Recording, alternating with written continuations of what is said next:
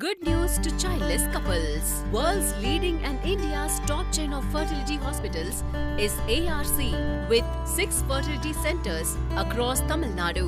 Our fertility experts are giving free counseling.